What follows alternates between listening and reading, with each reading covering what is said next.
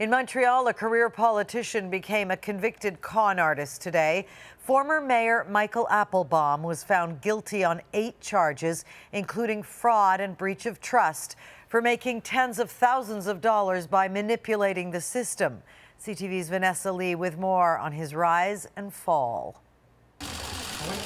Michael Applebaum promised to erase the stain of corruption that plagued Montreal City Hall.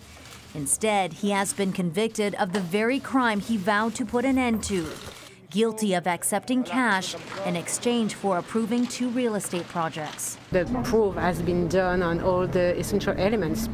As evidence was being read out by the judge, Applebaum fainted in the witness box. With no cash recovered and no paper trail, prosecutors relied heavily on star witness Hugo Tremblay, Applebaum's former chief of staff. He testified Applebaum coached him on how to shake down developers for bribes. Tremblay described shady dealings involving tens of thousands of dollars handed over in video game boxes, how he would pocket as much as half and then give the rest to his boss in covert exchanges in a car. The judge has decided that all witnesses were uh, all, both credible and reliable. The defense did not call any witnesses, and Applebaum, who has maintained his innocence, did not take the stand. My reaction is to wait to, to read the, the judgment fully before, uh, before, uh, before telling my client if we should do something or not, if we should go on appeal or not. Quebec's anti corruption unit arrested Applebaum in 2013, just seven months after he was sworn in as the first Anglophone mayor.